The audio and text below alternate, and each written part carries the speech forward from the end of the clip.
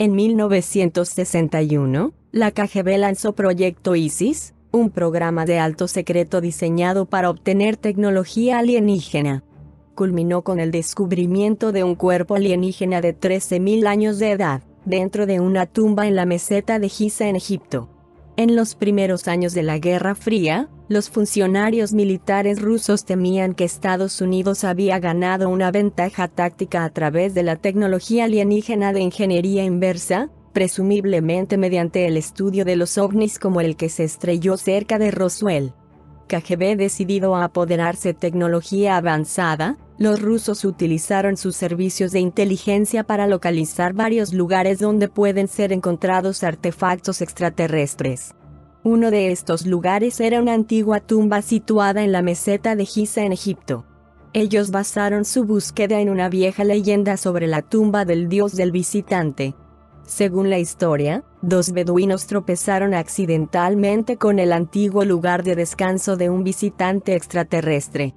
Inmediatamente después de entrar en la tumba, los dos hombres se enfermaron y fueron hospitalizados. Antes de que sucumbieran a la misteriosa enfermedad, fueron capaces de dar detalles sobre el paradero de la tumba. Las autoridades egipcias negocian esta información con sus aliados rusos, que querían llegar a la tumba del dios del visitante antes de que la compañía se enterara. Como resultado, rápidamente organizaron una expedición, el Proyecto ISIS. Un grupo de egiptólogos soviéticos, científicos y personal militar fueron asistidos por sus homólogos egipcios en la localización de la tumba. Esta información es verificada por el científico ruso Viktor Ivan que tuvo acceso a los documentos clasificados de la KGB, no hay duda de que un pequeño grupo de científicos rusos con expertos militares descubrieron una tumba en Egipto en 1961. Sin embargo, en los documentos nunca se reveló exactamente lo que se encuentran en el interior del sarcófago.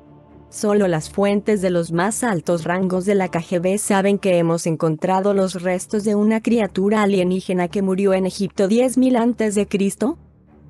La expedición ruso-egipcia logró descubrir la tumba y numerosos artefactos según informes garantizados. De acuerdo con un informe a un oficial de alto rango de la KGB, 15 cajas de artefactos fueron tomadas de la tumba del dios del visitante.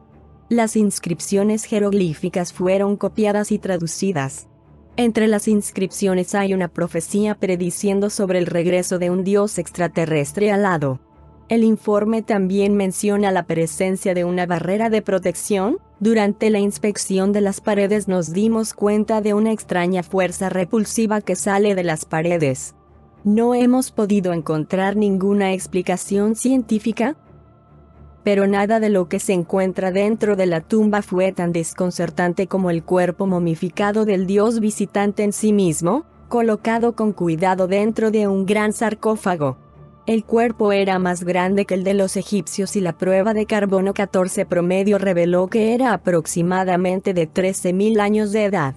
Según la mitología egipcia, la primera dinastía fue fundada por el dios hombre Osiris, que descendió a la tierra en un barco volador. ¿Es esto una referencia a un objeto volador no identificado y si es así, el proyecto ISIS realmente encontró el cuerpo momificado de este dios alienígena que vino a civilizar? Es imposible afirmarlo, pero existe evidencia en un video del descubrimiento. Un video en blanco y negro presenta detalles de la excavación arqueológica y fue presuntamente obtenido a través de un intermediario ruso con el acceso a los archivos secretos de la KGB. El video muestra a personal soviético que entran en la tumba sin equipo de protección y dos soldados levantando la tapa del sarcófago. Una nube de humo tóxico que se ve en aumento y determina que los hombres regresen con el uso de trajes de protección y máscaras de gas. Si bien no es posible certificar que el cuerpo momificado realmente pertenecía a un dios extraterrestre, los analistas forenses declararon el video genuino.